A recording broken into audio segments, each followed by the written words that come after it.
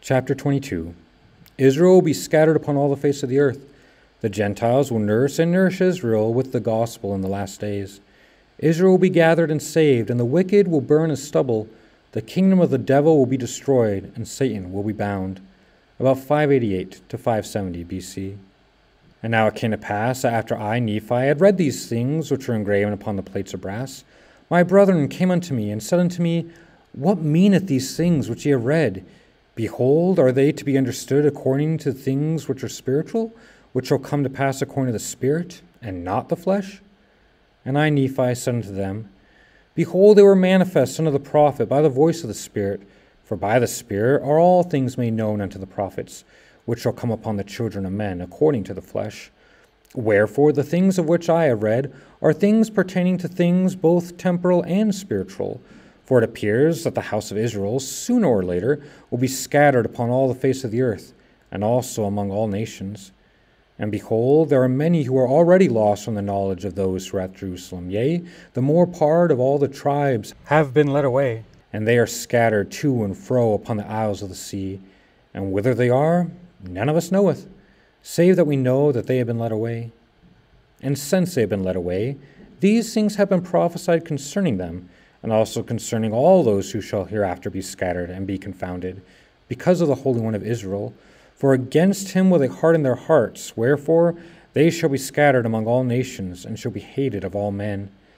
Nevertheless, after they shall be nursed by the Gentiles, and the Lord has lifted up his hand upon the Gentiles and set them up for a standard, and their children have been carried in their arms, and their daughters have been carried upon their shoulders, behold, these things of which are spoken are temporal for thus are the covenants of the Lord with our fathers, and it meaneth us in the days to come, and also all our brethren who are of the house of Israel. And it meaneth that the time cometh that after all the house of Israel have been scattered and confounded, that the Lord God will raise up a mighty nation among the Gentiles, yea, even upon the face of this land, and by them shall our seed be scattered. And after our seed is scattered, the Lord God will proceed to do a marvelous work among the Gentiles, which will be of great worth unto our seed Wherefore it is likened unto their being nourished by the Gentiles, and being carried in their arms and upon their shoulders. And it shall also be of worth unto the Gentiles, and not only unto the Gentiles, but unto all the house of Israel, unto the making known of the covenants of the Father of heaven unto Abraham, saying, In thy seed shall all the kindreds of the earth be blessed. And I would, my brethren, that ye should know that all the kindreds of the earth cannot be blessed, unless he shall make bare his arm in the eyes of the nations Wherefore the Lord God will proceed to make bare his arm in the eyes of all the nations, and bringing about his covenants and his gospel into those who are of the house of Israel. Wherefore he will bring them again out of captivity, and they shall be gathered together to the lands of their inheritance, and they shall be brought out of obscurity and out of darkness, and they shall know that the Lord is their Savior and their Redeemer, the mighty one of Israel. And the blood of that great and abominable church, which is the whore of all the earth, shall turn upon their own heads for they shall war among themselves, and the sword of their own hand shall fall upon their own heads, and they shall be drunken with their own blood. And every nation which shall war against thee, O house of Israel, shall be turned one against another, and they shall fall into the pit which they dig to ensnare the people of the Lord. And all that fight against Zion shall be destroyed, and that great whore who hath perverted the right ways of the Lord, yea, that great and abominable church, shall tumble to the dust, and great shall be the fall of it. For behold, saith the prophet, the time cometh speedily that Satan shall have no more power over the hearts of the children of men. For the day soon cometh that all the proud and they who do wickedly shall be as stubble, and the day cometh that they must be burned. For the time soon cometh that the fullness of the wrath of God shall be poured out upon all the children of men, for he will not suffer that the wicked shall destroy the righteous. Wherefore he will preserve the righteous by his power even if it so be that the fullness of his wrath must come, and the righteous be preserved, even unto the destruction of their enemies by fire. Wherefore the righteous need not fear. For thus saith the prophet, They shall be saved, even if it so be as by fire.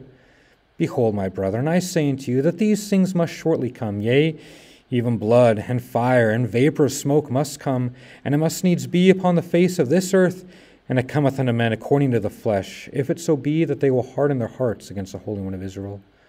For behold, the righteous shall not perish, for the time surely must come that all they who fight against Zion shall be cut off. And the Lord will surely prepare a way for his people, unto the fulfilling of the words of Moses, which he spake, saying, A prophet shall the Lord your God raise up unto you, like unto me. Him shall ye hear in all things, whatsoever he shall say unto you. And it shall come to pass that all those who will not hear that prophet shall be cut off among the people. And now I, Nephi, declare unto you that this prophet of whom Moses spake was the Holy One of Israel, wherefore he shall execute judgment and righteousness. And the righteous need not fear, for they are those who shall not be confounded. But it is the kingdom of the devil which will be built up among the children of men, which kingdom is established among them which are in the flesh.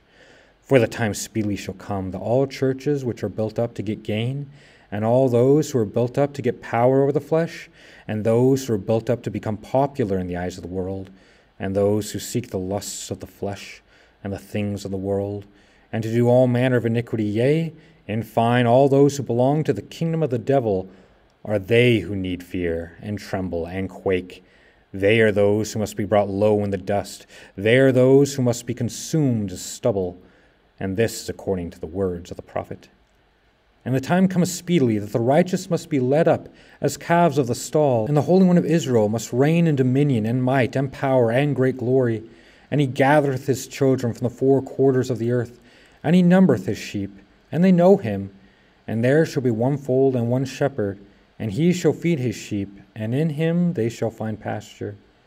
And because of the righteousness of his people, Satan has no power.